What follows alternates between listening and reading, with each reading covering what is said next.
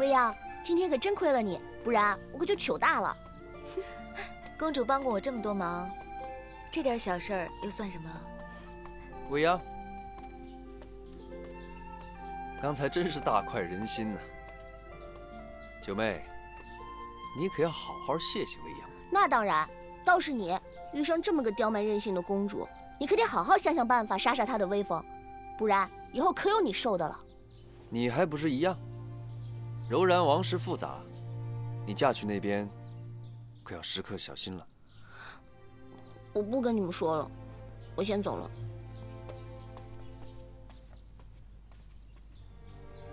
这件事情真的没有办法改变了吗？照九公主的性格，嫁到那边的话，一定会吃苦的。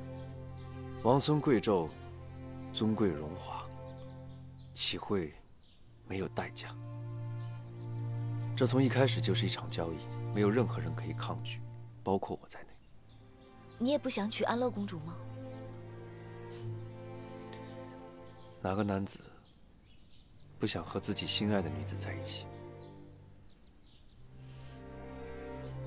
我不会轻易妥协。如今不过是权宜之计。殿下娶了安乐公主，一定要好好的对待她。女儿家婚嫁，关系着一辈子的幸福。那我的幸福呢？未央，我我喜欢的是你。殿下。总有一天，我会迎娶你，做我的王妃。未央是很感激殿下的多次相帮，但是未央从未想过要嫁给殿下。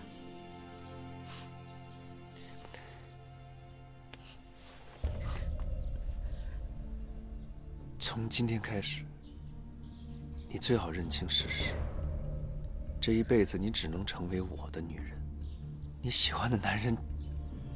只能是我。如果你有其他的想法，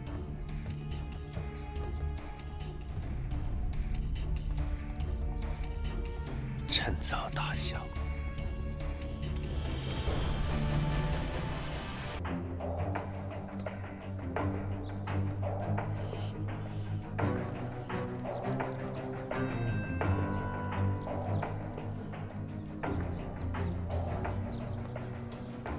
殿下，放开我！难道我眼睁睁看着拓跋余欺骗未央吗？我要告诉未央真相，我要告诉他，拓跋余就是杀害我母妃的主谋。殿下，如果您把真相告诉了未央姑娘，就怕未央姑娘在南安王面前露出破绽。如果南安王因此事针对殿下，殿下便无还手之力啊！我顾不了这么多，我只要未央平安无事。那太子妃娘娘的死呢？景穆太子的死呢？这些都不管了吗？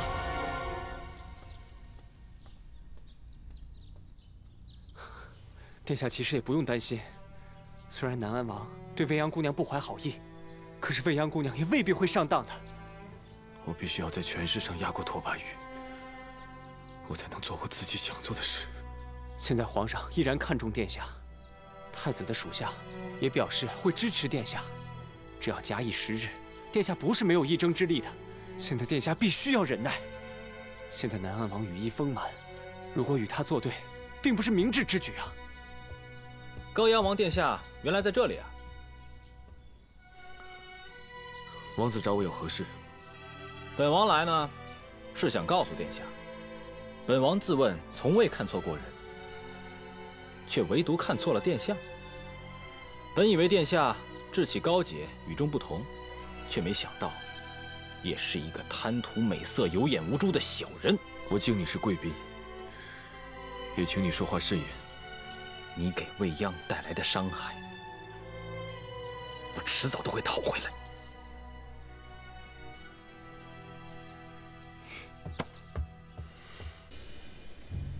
既然是比武，就应该有点赌注。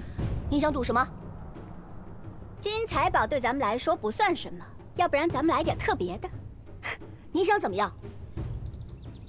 如果你输了，就罚他。杖责五十，我要是输了，就由我的侍女代受。我们比武，关别人什么事？怕输就算了。什么？我会输给你？好，赌就赌。不过，我不需要打你的侍女。你要是输了，就不许再找未央的麻烦。一言为定。公主，未央，别担心，我们会赢的。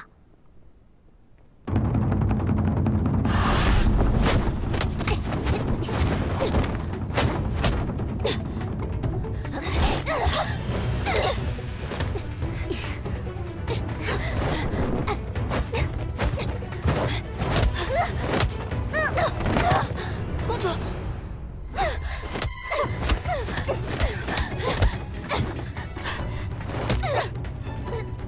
公主，拓跋迪，你输了。来人，把这李未央拉下去，杖责五十。未央，你们别动他！未央，拓跋迪，你们魏人可以说话不算话的，不像我们柔然，既然说到就要做到，不可言而无信。你要是再这样，我就去告诉父皇。这是你先要比试的，就算闹到皇上那儿去，我也不怕。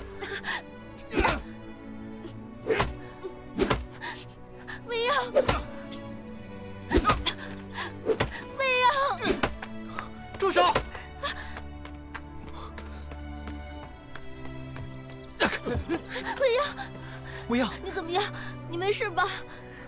只是打几下而已，公主不用担心啊。安乐，你太过分了！我们走。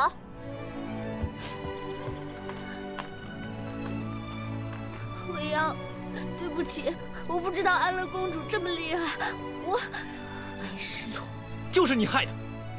公主，你能不能不要胡闹了啊？你是公主，没人敢责罚你。可未央呢？她就是个浣衣局的宫女。你要再这么闹下去，非整死他不可。是，都是我不好，都是我的错，我我。公主，别管他。敏德，你怎么能这么说公主呢？难道我说错了吗？她除了能惹事之外，还能干什么？她，你可知道，她为什么这么做？她完全没有必要去招惹安乐公主的，他只是为了要替我出气，想时时刻刻保护好我，照顾好我。可你又知道他为什么要这么做吗？九公主她很喜欢你，非常非常的喜欢你，所以不管你是李家的养子，还是柔然的王子，她的心意从来都没有改变过。只是因为你的一句话，她就把要保护好我当做自己生命中最重要的事情。她生怕自己做的不够好，会让你失望。你看他对你一往情深，你怎么还忍心责怪他呀？那我问你，是不是有付出就会有回报？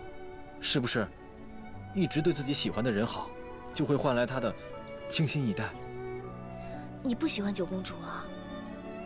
公主真的是一个很好很好的女孩。我，哎呀，好了好了，不提她了。对不起啊，这件事情因安乐而起，他自小娇生惯养，我这回回去会教训他的，让他以后都不能再欺负你了。行了，没事的。他们技不如人，关我什么事啊？如果一开始输不起的话，就不应该招惹我。别以为我不知道你故意行事伤人到底是想干什么。总之，你要再敢伤害未央，休怪我不顾兄妹之情。